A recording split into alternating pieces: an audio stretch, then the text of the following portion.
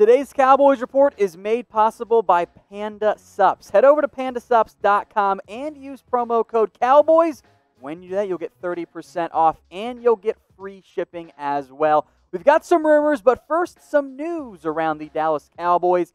Cobra Kai Forbath has been cut by the Cowboys, clearly making the most anticlimactic, frankly non existent training camp battle history over before it actually gets going. Greg Zuerlein is going to be the kicker for the Cowboys, unless he really, really sucks in camp and gets cut as well. Although cutting Zuerlein would result in an extra almost half million being added to the cap, which is why this was never really a competition. The second the Cowboys signed Greg Zuerlein, who has been special teams coach John Fassel's kicker in LA for a significant amount of time, the second that happened, the writing was on the wall uh, on the wall for Kai Forbath. Now, my suspicion is there's a decent chance Kai Forbath might remain unsigned, and the Cowboys could bring him back or somebody else back if Zuerlein does struggle. And he wasn't great last year amid injury, but historically he has been one of the better kickers in the NFL the past couple of seasons. He's going to be your guy. That is what the Cowboys are planning on. They planned on that the second that they paid him. So, what is your confidence level in Greg Zuerlein? Rate this for me on a scale of 1 to 10, 1 being you're panicking, 10 meaning he's going to make every single kick. He's about 70% last year, so I'm going to give it a 7. Although, reminder don't settle for field goals, just score, and you'll be better off anyway.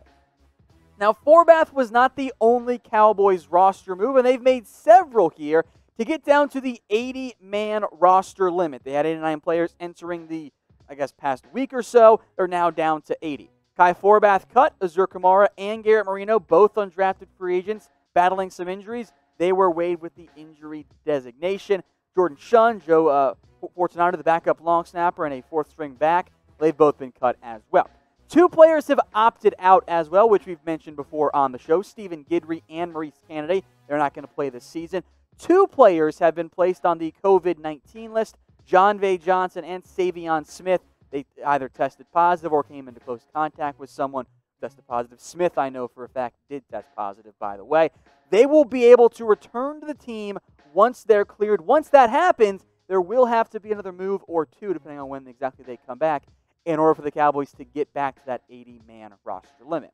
Now, we're going to get to the rumors here in a second, but first, Panda Supps has some awesome pre work. And if you're like me, you kind of didn't go to the gym. You didn't just skip leg day, you skipped all of the days when we were all quarantined and all of that.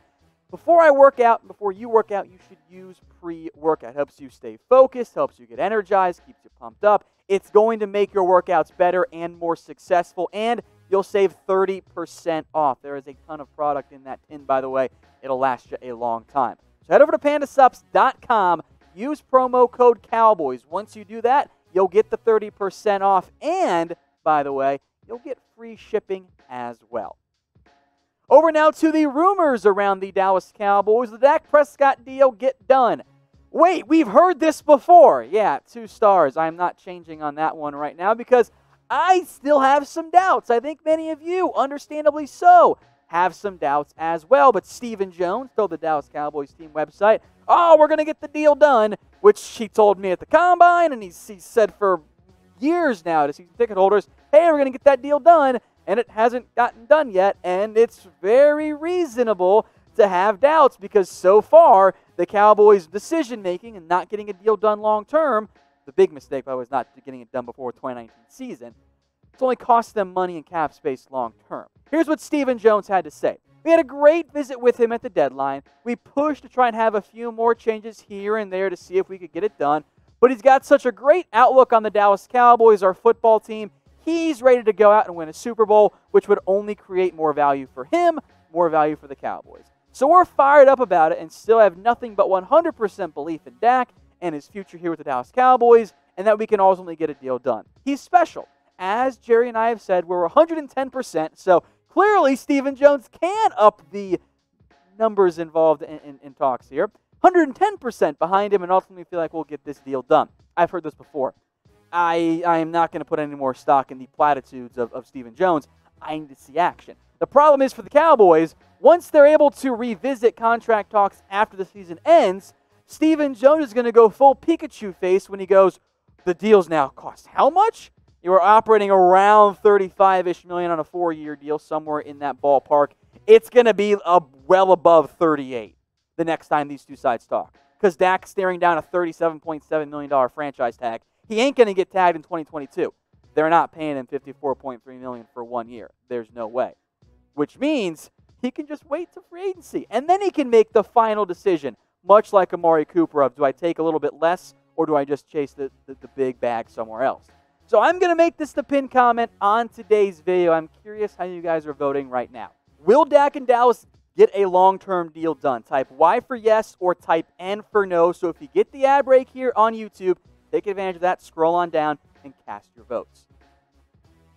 All right, over now to Trevon Diggs. Will he start at cornerback? That's the speculation from the Dallas Morning News. And look, it makes some sense. And two stars on this one. The NFL will always claim it's a meritocracy, but it's not always because earlier drafted players, those who have been committed to by the organization, they're always going to get more chances. The Cowboys are going to try to give Diggs a starting spot. He's going to get every opportunity early on. Now, corners often struggle adjusting to the NFL.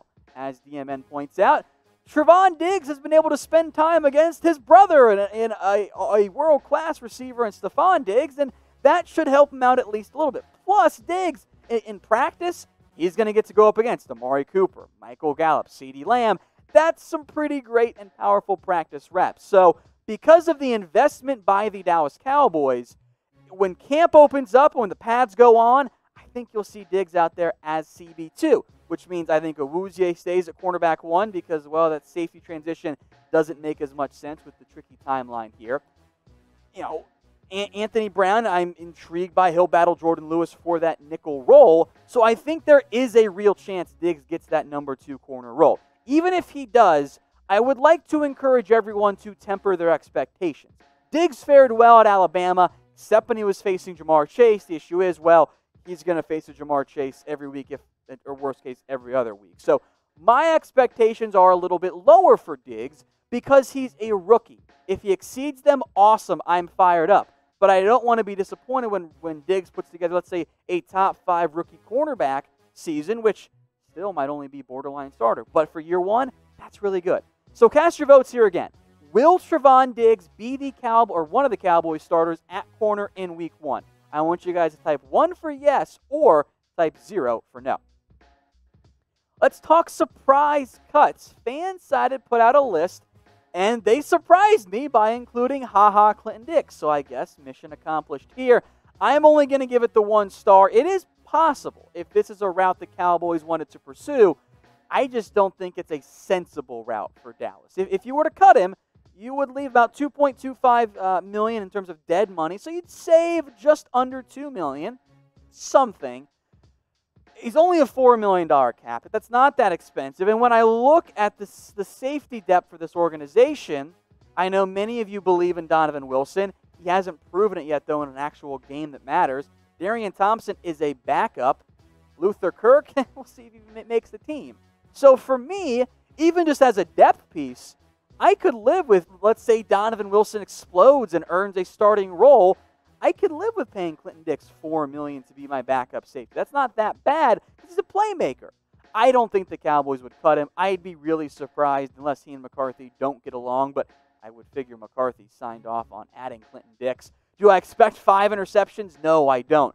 But if I can get three, I mean, wouldn't that be nice since the Cowboys haven't had very many at all in recent seasons? Now, the purpose of the Fansided article was surprise cuts, so Clinton Dix certainly qualified there. So, with that in mind, focus on surprising cuts for the Cowboys. Let me know in the comments who you think one could be. A somewhat recent surprising cut was Jeff Heuerman, the tight end formerly of the Denver Broncos. Should the Cowboys go sign him right now? That's what Inside the Star suggests, and I don't hate it. I'll give it two stars. I think there's some some rationale behind it. Blake Jarwin is clearly your starter. Heuerman's not going to surpass him anytime soon. I think he'd be a decent number two tight end. I really do. Cut by the Broncos again over this weekend. Heuerman has some starting experience. And by the way, much like Devin Smith, Noah Brown, he played with Zeke at Ohio State as the Cowboys offense sure likes to add those Ohio State players. My issue here is that I'm not convinced he's that much better than Blake Bell. or that he's that much better than Dalton Schultz. They all kind of fit a similar mold. They are mostly run blocking focused tight ends. Yeah, Heuerman's had a bunch of starts in the NFL, hasn't done much with them. Noah Fant clearly, the better option. But if you want to bring in Heuerman to comp- compete with Dalton Schultz or Blake Bell and the undrafted free agents on the roster, I could get on board with that. I'm not going to pay him very much money. And oh, by the way, frankly, at this point, if Blake Jarwin gets hurt and misses time, maybe you just don't use a tight end. You just go four wide, or, or you put Pollard and Zeke out there at the same time. So, of course, my answer is if he's cheap enough, well, yeah, because there's no such thing as a cheap one year deal with, with little to no guaranteed money. But should they sign him? I could, I could get on board. Let me know what you guys think, though. Type A for yes, or if you don't want him, I'll type B for no. How about the most valuable franchise? Is that the Dallas Cowboys? Uh, you know America's team checks in here at number one. Four stars on this one. For the fifth straight year, the Dallas Cowboys lead the way on Forbes' list of most valuable pro sports franchises. It should not come as a surprise. This is the Dallas Cowboys. 5.5 billion is what they were valued at, which is significant because it's still 0.5, 0.5 more than what the Yankees have.